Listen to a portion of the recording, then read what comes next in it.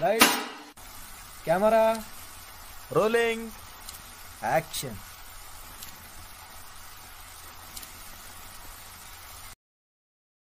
বিভিন্ন ব্যস্ততার কারণে আজকের গল্পটি আমি পাঠ করতে পারছি না। তাই আজকে আপনাদের জন্য গল্প পাঠ করবে গল্পকথক প্রিয়ব্রত টিমের সদস্যরা। নমস্কার বন্ধুরা, আশা করি তোমরা সবাই ভালো আছো। আমি গল্পকথক প্রিয়ব্রত, আর তোমাদের জন্য আমার চ্যানেলের আজকের বিশেষ নিবেদন। জগদীশ গুপ্তের লেখা একটি রোমাঞ্চকর কাহিনী পেইং গেস্ট তাহলে বন্ধুগণ শুরু করা যাক।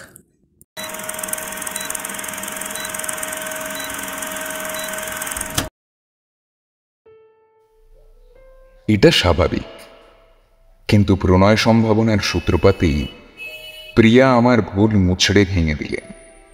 প্রিয়ার লজ্জা ভাঙাবার কষ্ট আমাকে করতে হয়নি। কারণ তিনি লজ্জাটাকে কুসংস্কার মনে করতেন এবং সেটাকে নির্মূল করেই তিনি এসেছিলেন। অতি অল্প সময় পরেই দেখলুম, প্রিয়া আমাকে উপার্জনক্ষম দেখতে যতটা আগ্রহান্বিতা, উপার্জন করতে আমি সেই অনুপাতে প্রস্তুত হয়ে উঠতে পারিনি। এটা একটা অসামঞ্জস্য। অসামঞ্জস্যের যে অবশ্যম্ভাবী ফল আমাদের গোরক দাম্পত্য জীবনে তাই ভুলে গেল। একটা বিপ্লব ঘটল। তিনি যত ঠেলতে লাগলেন, আমি ততই চেপে বসতে লাগল কাজেই সংঘর্ষণে আগুন জ্বল। প্রিয়ার সাথে ঝগড়া করব। ঝগড়া অবশ্যই পরক্ষণে লোকক্রিয়ায় গিয়ে দাঁড়াল, কিন্তু তিনি কথার সুর ছাড়লেন না। দাদারা মাথার ওপর থাকলেও এবং জীবিকা সংগ্রহের জন্য সচেষ্ট হওয়ার আবশ্যকতা না থাকলেও বিদেশে গিয়ে টাকা রোজগার করে, স্বতন্ত্র বাসা করে সস্ত্রীক একা বাস করার মধ্যে যে একটা অবাধ আনন্দ আছে, প্রিয়া আমাকে অতঃপর সেই আনন্দের প্রলোভন দেখাতে লাগলে। জীবনের ষোলোটি বসন্ত তিনি অনড়া অবস্থায় পার করে এসেছিলেন। স্বতন্ত্র বাসায় আমাকে নিয়ে একা থাকবার ইচ্ছার মূলে সেই ক্ষতিপূরণের অভিলাষ ছিল কিনা তা অন্তর্জামেই জানে। আমি ইতস্তত করতে লাগলুম এই ভেবে যে তাকে দেশে রেখে স্বাধীনতার তল্লাশে বিদেশে গেলে আমার যে সময়ের ক্ষতিটা হবে, উপার্জন যদি না করতে পারি তবে সে ক্ষতির পূরণ হবে কি করে? এই প্রশ্নের সদুত্তর আমি না পেলেও নেপটে থাকারই জয় হলো। দেখি বলে সুর টেনে বেরিয়ে পড়লাম আমার বন্ধু ননি বলতো, কাজের জায়গা কলকাতা। পকেট মারার ব্যবসা থেকে নোট চাল পর্যন্ত এবং মোশাহি বা বাজার সরকারি থেকে লাট দপ্তরের চাকরি পর্যন্ত। অসৎ ও সকল সৎ কাজের কেন্দ্র ওই স্থানটি। ননি বয়সে বড়, বুদ্ধিমান এবং রোজগেরে, সুতরাং তার কথা মেনে নিয়ে কলকাতায় গিয়ে তার বাড়িতেই উঠলাম। উপার্জনের ক্ষেত্রের সন্ধান না পেলে স্বতন্ত্র বাসার সন্ধান করাও বৃত্ত দুদিন অতিথিভাবে থেকে মাসিক একটা খরচ দেওয়ার কথা বলতেই ননি রাজি হয়ে গেল। বললাম, যত সামান্য বারোটা টাকা, তবে যদি তার বেশি দেওয়া দরকার মনে করো, তাতেও ননির কাছে চক্ষু লজ্জার কোনো কারণ আমার ছিল না, তাই টাকার কথা বলতে পারলাম। কিন্তু ননি শশব্যস্তে আমার মুখ চেপে ধরে কথা শেষ করতে দিলে না। একটা ঘরে বিছানা পেতে ফেললাম। ভাবলাম, কলকাতায় আহার এবং বাসস্থান মাত্র বারো টাকায়? বড় জিতেছি। সল্লা সেই খবরটা প্রিয়াকে দিলুম। লিখলাম, যাত্রা শুভক্ষণেই হয়েছে। ছেলেবেলায় ভূষণ নামে একটা বিদেশি ছেলে আমাদের খেলার সাথী ছিল। খুব বলবান, কিন্তু হাঁ ছিল তার বড়। এই কারণে তাকে একদিন হিড়িম্বু রাক্ষস বলে কটুক্তি করে হেসেছিলাম। মনে মনে তার রাগ ছিল। কিছুদিন পর একদিন স্নানের সময় সে প্রতিশোধ নিলে। ডুব সাঁতার কেটে খেলতে খেলতে একবার হঠাৎ ভূষণের গায়ের কাছে গিয়ে হুপ করে ভেসে উঠতেই সে ফস করে আমার ডানা দুখানা ধরে ফেললে এবং রাক্ষসের মতো হাঁ, দানবীয় উল্লাসে আরও বিস্তৃত করে আমাকে নাচাতে শুরু করে দিলে। একবার ডুবিয়ে ধরে পরক্ষণেই টেনে তুলে আবার তক্ষণে ডুবিয়ে ধরে। আমাকে হত্যা করার উদ্দেশ্য তার হয়তো ছিল না। মিনিট খানিক ডুবিয়ে ধরে রাখলেই সে উদ্দেশ্য অক্লেশে সিদ্ধ হতো। জলের মধ্যে মুহুর্মুহু ওঠানামা করায় হাঁপিয়ে নাকে মুখে জল ঢুকে দম বন্ধ হয়ে সেদিন প্রাণ আমার ওষ্ঠ প্রান্তে এসে পড়েছিল। আজ ডানায় ঘরে বসে ঠিক সেদিনকার মতোই প্রাণ আমার ওষ্ঠ প্রান্তে এসে পড়ল। ননী এবং তার স্ত্রীর আদর নাকে মুখে ঢুকে আমার দম বন্ধ করে দিতে লাগল।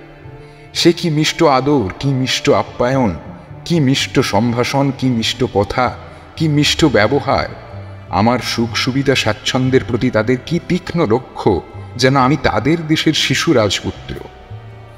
প্রাসাদ ছেড়ে কিছুক্ষণের জন্য তাদের কুটিরে খেলতে এসেছি। তারা তাই সম্ভ্রম মিশ্রিত অগাধ আদরের মধ্যে দোলা দিয়ে দিয়ে আমাকে নাচিয়ে নিয়ে বেড়াচ্ছে। আমারই সৌভাগ্যবশত বহু পূর্ব হতেই এই নিয়ম চলে আসছে, যে নাচে সেও হাঁপায়। যে নাচায় সেও হাঁপায়। জাগতিক এই নিয়মের বশেই ননি এবং তার স্ত্রী হাঁপিয়ে উঠে আমাকে নাচাবার সেই অদৃশ্য রজ্জুটা ক্রমশ আলগা দিতে লাগল। ভাবলুম বাঁচা গেল। অস্বাভাবিকতার ঘূর্ণির মধ্যে পড়ে আমার যন্ত্রণার অবধি ছিল না। এখন স্বাভাবিক মানুষের মতো নিজের খেয়াল মতোই নড়ে চড়ে স্বচ্ছন্দভাবে থাকতে পারব। বাড়াবাড়ি আদর যে পরাধীনতার শৃঙ্খল এই মূল্যবান অভিজ্ঞতাটুকু সঞ্চয় করলাম। কিন্তু ক্রিয়ার প্রতিক্রিয়ার যে স্বাভাবিক এবং অনিবার্য সত্য, তা দড়ির টান কম পড়তেই বুঝতে পারিনি। তবে বুঝতে বেশি বিলম্বও হলো না। দিন পাঁচ সাত ক্রিয়া ও প্রতিক্রিয়ার সংযোগস্থলে কাটিয়ে প্রতিক্রিয়ার মধ্যে গিয়ে পড়ল। ননীদের বাড়িটা বনিয়াদি, কাজেই সেটা গলির গোলক ধাঁধার মধ্যিখানে স্যাঁত স্যাঁতে অন্ধকারময় এবং দুর্গন্ধযুক্ত। উপরতলায় জল এবং বাষ্প পৌঁছতে পারে না বলে ওরই মধ্যে একটু গন্ধহীন আর শুকনো। জল নিচের তলাতেই আবদ্ধ। দুর্গন্ধটা আরেকটু অগ্রসর হয়ে সিঁড়ির পাঁচ সাত ধাপ পর্যন্ত সঙ্গে সঙ্গে উঠে আসে। অন্ধকারে এই বাড়িটার মতোই আদি জিনিস। কাজেই সে এই বাড়িটার সর্বত্র সমানভাবে বিরাজ করে। বোধহয় আমারই খাতিরে প্রথম প্রথম ওপরেই খাওয়া হতো। দিন দশেক পর নেমে এলাম। চা উপরে আসতো, তাও বন্ধ হয়ে গেল। ভাবলাম নামছি বেশ। দুদিন নিচে নেমেই খানিকটা ফিনাইল ঢেলে গন্ধটাকে নিস্তেজ করে দিলাম। কিন্তু তৃতীয় দিনে বোতলটা আর খুঁজে পাওয়া গেল। দেখে মনে দার্শনিক ভাবের উদয় হল। তাহা এই, পণ্ডিতগণ বলেছেন, সময়ে সন্তাপ হারক। তারা বলতে ভুলেছেন যে অভ্যাস দুর্গন্ধা পরাহক। পাপি আমি। নরকুণ্ডে বাস আমাই নিশ্চয়ই করতে হবে এবং সেটা গোলাপ জল দিয়ে তৈরি নয়। সুতরাং অভ্যাসের দুর্গন্ধাপহারিকা শক্তি যদি এখন থেকে আখেরের জন্য আমায় প্রস্তুত করে তোলে, তবে তাতে আফসোসের কোনো কারণই থাকে না। বরং ভালোই হয়। প্রতিক্রিয়া লাফিয়ে লাফিয়ে অগ্রসর হতে লাগে। ননি এবং আমি একসঙ্গেই নিচে নেমে চা খেয়ে আসতাম। দ্বাদশ দিনের দিন ননির ছেলেটা নিচে থেকে ডেকে বললে, বাবা, চা হয়েছে, খাবে এসো। হরেন কাকা পরে খাবে। ননি নেমে গেল। কিছু পরেই আমারও ডাক পড়ল। গিয়ে দেখলাম, ননি চমুক দিয়ে চা খাচ্ছে। ঘরটা ঘিয়ে ভাজা সুজির গন্ধে আমোদিত আমি আসবার আগেই ননি হালুয়া খেয়ে সেরেছে মাত্র। গন্ধের দ্বারা তার নিঃসংশয় প্রমাণ হয় না।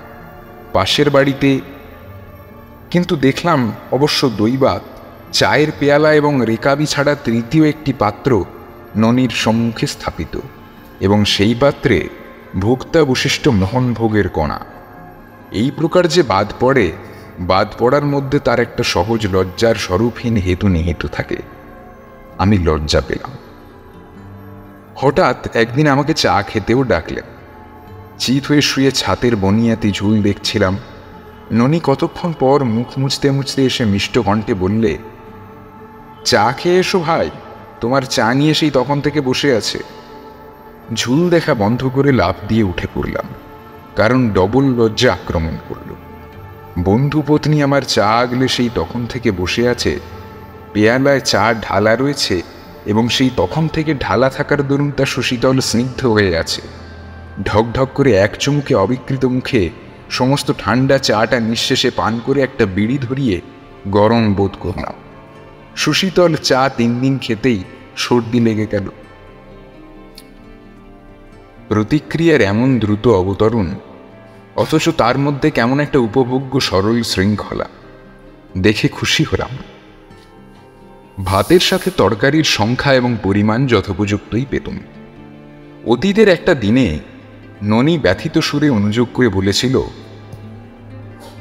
তুমি কি খেপে ভালোবাসো কিছুই তো বলো না ভাই। অত যদি লজ্জা করে থাকো, তাহলে ভারী দুঃখিত হব। তখন ক্রিয়ার উত্থানের দিন, সেই দড়ি আমার সমানভাবে নাচিয়ে চলেছে। ননির ব্যথিত সুর আমাকে আঘাত করল। গদগদ প্রাণে চার পাঁচটি প্রিয় তরকারির নাম করে ফেলল। ননি স্ত্রীকে ডেকে বলে দিলে মোচার ঘন্ট ইলিশ মাছের কাঁটা দিয়ে শাক, কুচো চিংড়ির বড়া, লাউয়ের তরকারি, কই মাছ সহযোগে, আর আরেকটা কি বললে? আমি বললাম শক্ত। ননি বললে হ্যাঁ শক্ত। এই পঞ্চ তরকারি আমাদের বন্ধুটি ভালোবাসে। মনে থাকে যা তার স্ত্রী তখন এত জোরে মাথা নেড়ে জানিয়েছিল যে মনে থাকবে যে আমি ভেবেছিলাম হাঁসের ডিমের ডালনার কথাটা তো বলতে ভুলে গেলাম। কিন্তু নিম্নগা প্রতিক্রিয়ার স্রোতের মুখে পড়ে সবই ভেসে গেল। ভারী জিনিস মনের উপর দাঁড়াতে পারল না। চায়ের ওই ঘটনার পরদিন আমার বিশেষ প্রিয় তরকারি পঞ্চের মধ্যে মোচার ঘণ্টের স্বাদের কথা বিশেষভাবে স্মরণ করতে করতে আহারে বসে দেখলুম, নেবুর এক টুকরো আমার পাতে দিতে ভুল হয়ে গেছে। নেবু জিনিসটা কলকাতায় বেশি দামে বিকায় এবং আমার মুখরোচক, কিন্তু একখণ্ড চেয়ে নেওয়া হলো না। চেয়ে নেওয়া ঠিক আমার আসে না। দ্বিতীয়ত ভুলটা দেখিয়ে দিয়ে ননির স্ত্রীকে লজ্জা দেওয়াও শোভন হবে বলে আমার মনে হলো না। ভুলটা নিত্যই হতে হতে তারপর স্বভাবে দাঁড়িয়ে গেল। পরদিন প্রতিক্রিয়া একটা তরকারিকে স্পর্শ করল। ভাত আমি বেশি খাই না এবং পর্বত প্রমাণ ভাত একেবারে ঢিবি মেজে থালায় দিলে আমার আহারের রুচি কমে যায়। আদরের দড়ি গলায় পড়ে একদা যখন নেচেছিলাম তখন একসময় লজ্জার মাথা খেয়ে ওই কথাটা বলেই ফেলেছিলাম। কিন্তু তখন কথাটার সুফল অনুমান করতে পারিনি। ননির স্ত্রী আমার রুচির দিকে বেশ লক্ষ্য রেখে সুবিবেচকের মতো বেশ কম করেই দিত। কিন্তু এখন কাজের ভিড়ের দরুন আমার আর ভাত লাগবে কিনা তা যাচাই করতে তার ভুল হতে লাগল। অথবা অবসরের অভাব ঘটতে লাগল। আজকাল ননি আমার আগেই খায়। ননির সাথে ননির স্ত্রী অত্যন্ত অনিচ্ছার সঙ্গে উপরে উঠে যায়। আমার আঁচাবার শব্দ পেলে তবে নামে। উপরেও কি এত কাজ? কখন যে সে কি করে? কি করবে তার কিছুই ঠিক নেই। যাকে আমার লাজুক মুখচোরা স্বভাবটা একটা পরিবারের উপকারে লেগে গেল দেখে আমি তৃপ্ত হলাম। প্রিয়াকে লিখলাম, এখানে আহারাদির কোনো রকম কষ্ট হচ্ছে না। সেজন্য চিন্তার তোমার কোনো কারণ নেই। এরপর শীত বাড়ল। এই দুরন্ত শীতে দুবেলা সমানে রান্না ননির স্ত্রীর পক্ষে অসম্ভব। শীতের দিনে ডাল তরকারি পচে ওঠার আশঙ্কা নেই।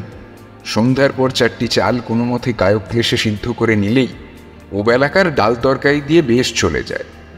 দুদিন চললেও তৃতীয় দিনে আর চলল না। কিন্তু আমি বোধহয় প্রহ্লাদ শ্রেণির জীব। কার ধ্যানে তন্ময় হয়ে ব্রহ্মাণ্ড ভুলে আছি কে জানে। কষ্ট অনুভব করার সামর্থ্যই তখন আমার লোক পেয়ে গেছে। আমার জন্য ও বেলাকার ভাতই থাকতো। শীতের দিনে অন্ধকার স্যাঁতস্যাঁতে ঠান্ডা ঘরে ভাত বরফের মতো ঠান্ডা হয়ে যেত। আমি সোনার মতো মুখ করে তা আহার করতাম। ননির স্ত্রী ননির পাতের ওপর ধুমায়মান ফুলকো লুচি কাঠিতে বিঁধে এনে ছেড়ে ছেড়ে দিত। দুই গ্রাস ভাত মুখে তুলতেই আমার আঙুলের ডবাগুলো কুঞ্চিত হয়ে কনকন করত, সর্বাঙ্গ ভিতরকার হিমে শিরশির করত, আর আমি আধো মুখে হেসে হেসে দুনিয়ার হালচাল সম্পর্কে ননির সাথে কডরব সহকারে আলোচনা করতাম। আমি আশ্চর্য গেলাম এই ভেবে যে আমি এত অল্প দিনের এই বুনিয়াদি পরিবারের মনের মতো মানুষ হয়ে গেলাম কি করে? আমার কোনো কাজই এখন আর তারা পছন্দ করে না। আগে এক গ্লাস জলের জন্য আমি নিচে নামলে ননি রাগ করত। কেন? চাইলে কি ওরা এক গ্লাস জল ওপরে দিয়ে যেতে পারে না? স্নান করে একদিন কাপড়খানা নিজেই কেচেছিলাম।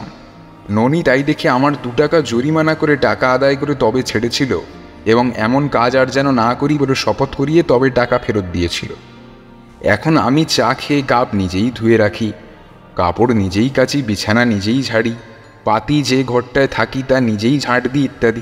কিন্তু ননির সঙ্গে মিত্রতা আমার এমনই ঘনীভূত হয়ে উঠেছে যে আমার কোনো কাজে বাধা দিয়ে আর আমায় সে ক্ষুণ্ণ করতে চায় না। প্রিয়াকে লিখলাম, আমি সংসারে উপযুক্ত হয়ে উঠেছি। এখন সংসার পাততেই যা বিলম্ব। পোনা মাছের লেজের মতো কাঁটার বালাই শিমুল গাছেও নেই। চুলের মতো, সূচের মতো, সোজা বাঁকা নানা আকারের কাঁটায় ল্যাজ একেবারে ঠাসা। ভেজে দিলে কাঁটা ভেঙে চুরে একরকম সহনীয় করে নেওয়া যায়। কিন্তু ঝোলে ওই ল্যাজের কাঁটা একলব্যের পরে কুকুরের মুখের মতো একেবারে নির্বাক করে দেয়। দেয় মানে যারা আমার মতো প্রহ্লাদ মার্কা মানুষ নয়, তাদের দেয়। আমার মুখগহ্বর এবং জিহুয়া নৃসিংহদেব রক্ষা করেন কিনা সে সন্ধান আমি জানতাম না এবং পরীক্ষা করবার প্রয়োজনও ইতিপূর্বে হয়নি। তবু পরীক্ষায় আমি সসম্মানে পাশ হয়েছি। এই বনিয়াদি বাড়িতে যত ল্যাজ এসেছে, তার সবগুলির ভোক্তাই আমি। কিন্তু তার কাঁটা নৃসিংহদেবের কৃপায় ভোজবাজির জ্বলন্ত অঙ্গারের মতো আমার মুখের কিছুই করতে পারেনি মাছের মাথার কথা স্বতন্ত্র। অখাদ্য বিবেচনায় মাথার প্রতি লোভ আমার কোনোদিনই নেই। ইলিশ মাছের পেটি, রাম কহ, রুই মাছের পেটি, অসুখের ডিপো, পেটে গেলে রক্ষা থাকে না। ওইসব নিদারুণ অখাদ্যের প্রতি আমার আন্তরিক বিতৃষ্ণার বিষয়ে আমি কখনো সশব্দে প্রকাশ করিনি। কিন্তু দেখলুম প্রকাশ হয়ে পড়েছে। শীতের রাত্রে গরম লুচি আর মাছের মাথার কালিয়া খেয়ে ননি সস্ত্রীক শুকিয়ে উঠতে লাগল। যা খেয়ে আমার একটু ভুঁড়ি দেখা দিল, তা তো বলেইছি। প্রিয়াকে ভুঁড়ির খবরটাও দিলুম এইবার উপসংহারের মুখে এসে যা বলব, তা শুনে আপনারা আমায় অকৃতজ্ঞ, ঘৃণ্য, দুষ্টবুদ্ধি, অভদ্র পরশ্রীকাতর ঈর্ষাপরায়ণ পামর ইত্যাদি, যার যা মুখে আসবে তাই বলে গাল দেবেন তো? আমি বারণ করছি দেবে না। আপনাদের প্রত্যক্ষ সম্মুখে বসে কেউ কখনো ঘৃতে ভাজা তপ্তলুচি মাছের মাথা কালিয়া দিয়ে খেয়েছে কি? আপনারা শীতের দিনের চোদ্দ ঘণ্টার কড়করে ভাত, চোদ্দ ঘণ্টার বাসি তরকারি সহযোগী গলাধকরণ করতে করতে সম্মুখবর্তী সেই লোকটার কুণ্ঠাহীন রুচি ভক্ষণ দেখেছেন কি? শীতের প্রাতে যখন এক পেয়ালা ধুমোদগারি উষ্ণ চায়ের তৃষ্ণায় সমস্ত দেহ মন হা হা করতে থাকে, তখন সুশীতল চা পান করেছেন? কাজের ভিড়ের দরুন আপনাকে অর্ধেক ভাত দিয়ে কেউ রান্নাঘর ছেড়ে অন্তর্হিত হয়েছে কি? এই সব ঘটনা জীবনে যদি ঘটে থাকে, তবে আপনারা আমায় মার্জনা করবেন। যদি না ঘটে থাকে, তবে আমার কুকথা বলার আগে, বেশি নয়, এক এক পেয়ালা ঠান্ডা চা শীতের প্রাতে খেয়ে দেখবেন। দেখবেন মনে তখন দুর্দান্ত কৌতুকেচ্ছাদয় হয় কিনা। মৎস্যের মস্তক ভক্ষণ দেখতে দেখতে একদিন কৌতুকপ্রিয়তা হঠাৎ কেমন অসহ্য হয়ে উঠল। ভাবলুম মাথা খাওয়া বন্ধ করতে হচ্ছে। আপনাদের মধ্যে মনস্তত্ত্ববিদ যদি কেউ থাকেন, তবে তিনি হয়তো ভুরু তুলে টেনে টেনে বললেন, এটা বাপু তোমার কৌতুকপ্রিয়তার কথা নয়, রাগের কথা। হাসছ বটে, কিন্তু তোমার অন্তর তো জ্বলছে।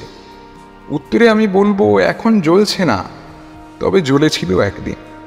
প্রিয়া আমাকে যে স্বাধীনতার লোভ দেখিয়ে বিদেশে পাঠিয়েছেন, তারই সন্ধানে ঘুরে ঘুরে বেলা একটার সময় ক্ষুধায় অন্ধকার দেখতে দেখতে রান্নাঘরে ঢুকে যেদিন দেখেছিলাম, আসনের সামনে থালার উপর ভয়ানক কালো কি একটা জিনিস রূপীকৃত করা আছে, আর আমার গায়ের হাওয়া লেগে তার উপর থেকে উড়ে গিয়েছিল লাখখানেক মাছি। আমার অন্তর জ্বলেছিল সেটাই আহার পণ্ডকারী মাছির বিরুদ্ধে এখন জ্বলছে না। সে যাক, অনেক মাথা ঘামিয়েও মাথা খাওয়া বন্ধ করবার একটা পন্থা মাথায় এলো না। কিন্তু হাল ছাড়লাম না। মাছের মাথা খেউ না বলে স্পষ্টবাক্যে নিষেধ করতে যাওয়া পাগলা। মাছের মা পুত্র কন্যার কল্যাণ কামনায় নিষেধ করতে পারে, তাতে অসঙ্গতি দোষ ঘটে না। কিন্তু আমি মাছের কে? আপ্রাণ চেষ্টায় ভাবতে ভাবতে হঠাৎ একদিন কৌশলটা মাথায় এসে গেল। ঠিক ভোরবেলায় তারিখটাও মনে আছে, দোসরা জানুয়ারি। তারিখটা মনে রাখবার একমাত্র কারণ এই যে, লেপের মধ্যে মুখ দিয়ে তখন খুব খানিকটা হেসেছিল। কেউ কেউ বলতে পারেন, ওই তারিখটা মনে রাখবার মধ্যে এই বাপু তোমার প্রতিহিংসার শিখা লকলক করছে। কিন্তু আমি বলব, দোষান্বেষীর এই আবিষ্কার সাপের খোলসের মতো আসল জিনিস নয়। কাল বিলম্ব না করে লেপের মধ্যে কাগজ, পেন্সিল নিয়ে একটা মুসাবিদা করে ফেললাম। এবং সেই সকালবেলায় ছাপাখানায় গিয়ে পাঁচশো কপির অর্ডার দিয়ে এলাম কাগজ লাল কালিতে ছাপা হলো, কারণ লাল রং বিপদের নিশানা। একটা খোট্টা ছোকরাকে আট আনা বকশিস দিয়ে বেলা সাড়ে আটটার সময় ছাতুবাবুর বাজারের সামনে দাঁড় করিয়ে দিল। ননির বাজারে যাতায়াতের পথে দাঁড়িয়ে সে কাগজ বিলি করতে লাগল। ননি বাজার নিয়ে এলো। মাছের ন্যাকড়ার গিট খুলতেই রুই মাছের এত বড় একটা মাথা গড়িয়ে পড়ল। সেদিন মাথাটা পড়ল আমার বাবা আহার আনতে হুঁকো টানতে টানতে ননি বললে, আমার শার্টের পকেটে লাল কালিতে ছাপা একটা কাগজ আছে, বের করতো করলাম। ননি বললে, পড়, বড় আশ্চর্য কথা লেখা আছে। দিন দিন বিজ্ঞানের যেরকম উন্নতি হচ্ছে, তাতে খাওয়া দাওয়া সব ছাড়তে হবে দেখছি। আমি জিজ্ঞাসা করলাম, কোথায় পেলে এই কাগজ? একটা খোট্টা ছোঁড়া বিলি করছিল। একখানা দিলে। যখন বাজার নিয়ে আসছি, তখন বেটা দিলে। ওই নিয়ে উপর বিরক্তপূর্ণ একটা ঝোঁক দেখায় পরিষ্কার বোঝা গেল, বাজার নিয়ে আসবার সময় না দিয়ে যদি বাজারে ঢোকবার সময় কাগজখানা সে দিত, তবে অত বড় মাথাটা আজে বাজে খরচ হতো না। গলা চড়িয়ে পড়তে লাগলাম বিজ্ঞাপন।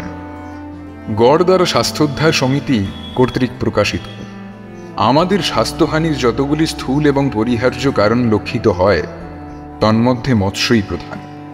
মৎস্য অশেষ অনিষ্টের আকর মাংস অপেক্ষা মৎস্য দুষ্পাচ্য। আমরা মাংস খাইলে তৎসঙ্গে দুধ খাই না।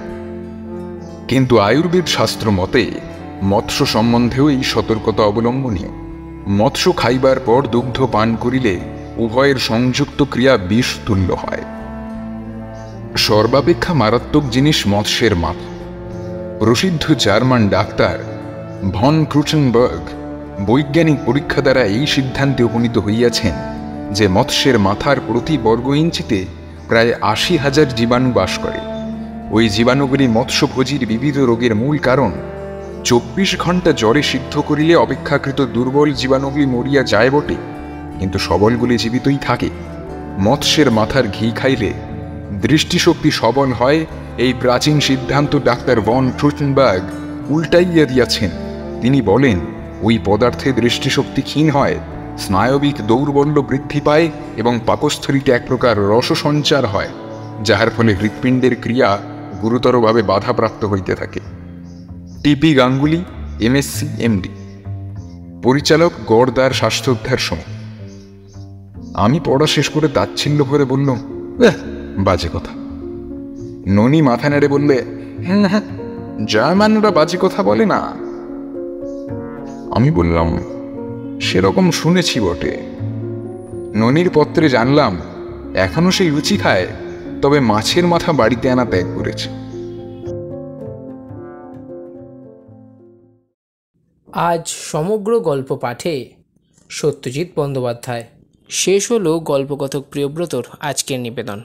আমি আশা করব আজকের নিবেদনটি আপনাদের খুব ভালো লেগেছে। আর ভালো লেগে থাকলে প্লিজ লাইক, কমেন্ট এবং নিজের বন্ধুদের সাথে অবশ্যই শেয়ার করবেন। আর এরকমই নিত্য নতুন গল্প পেতে আমার চ্যানেলটি সাবস্ক্রাইব করবেন। তাহলে আজকের জন্য এইটুকুই। দেখা হচ্ছে আগামী সপ্তাহে।